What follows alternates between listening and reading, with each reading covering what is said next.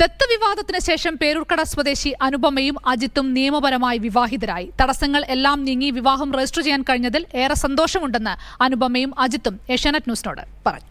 അനുപമയും അജിത്തും വിവാഹിതരായിരിക്കുകയാണ്. മുട്ടട sub registrar ഓഫീസിലാണ് ഇരുവരും വിവാഹം രജിസ്റ്റർ ചെയ്തത്. വിവാഹത്തിന് ശേഷം അനുപമയും അജിത്തും ഇപ്പോൾ നമ്മളോടൊപ്പം ചേരുകയാണ്.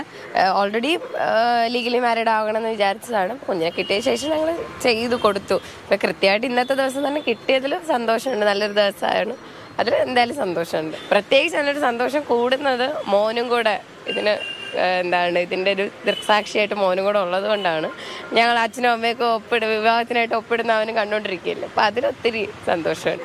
നമ്മൾ നേരത്തെ വിവാഹത്തിന് നോക്കിയിരുന്നു അതിനെക്കുറിച്ച് ലീഗലി പ്രശ്നങ്ങളൊക്കെ ഉണ്ടായിരുന്നു. എന്ന് വെച്ചാൽ ഇവിടെ സർട്ടിഫിക്കറ്റ്സിന്റെ ഒക്കെ പ്രോബ്ലം ഉണ്ടായിരുന്നു വയസ്സ് തെളിയിക്കുന്നത്. അതുകൊണ്ടാണ് അന്ന് വിവാഹം നടക്കാത്തത്. കുഞ്ഞിനെ കിട്ടി ബാക്കി കാര്യങ്ങളെല്ലാം ശരിയായി വരുന്നു. അപ്പോൾ ഇതിനെല്ലാം ഈ വിവാഹം തന്നെ അതിനെല്ലാം ഉള്ള ഒരു മറുപടി തന്നെയായിരിക്കും തീർച്ചയായിട്ടും. കുഞ്ഞ് എന്താണ്? ഇപ്പൊ കുഞ്ഞിന്റെ വിശേഷങ്ങൾ അറിയാൻ ഒരു പക്ഷേ എല്ലാവർക്കും താല്പര്യം ഉണ്ടാവും. ഒരു മാസത്തോളമായി നിങ്ങളുടെ കയ്യിൽ വന്നിട്ട് എന്താ ഇണങ്ങി? ആ എല്ലാവരുമായിട്ടും നല്ല ഫ്രണ്ട്ലിയാണ് ഒന്ന് എടുത്തു കഴിഞ്ഞാൽ എല്ലാവരുമായിട്ടും കൂട്ടാവും. എന്താണ്? പിന്നെ ബൗവിനെയാണ് ഏറ്റവും ഇഷ്ടം.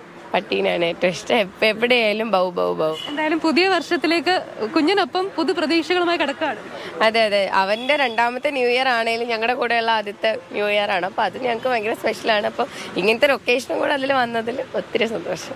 എന്തായാലും രണ്ടായിരത്തി ഇരുപത്തി ഒന്ന് കടന്നു പോകുന്നത് അനുപമയ്ക്കും അജിത്തിനും കുഞ്ഞിനും ഒക്കെ ഏറെ സന്തോഷകരമായ ഒരു കാര്യം കൂടിയായിട്ടാണ് ഇരുവരും വിവാഹിതരായിരിക്കുന്നു പുതു പ്രതീക്ഷകളോടെ പുതിയ വർഷത്തിലേക്ക് പുതിയ ജീവിതത്തിലേക്ക് കടക്കുകയാണ് മൂവരും.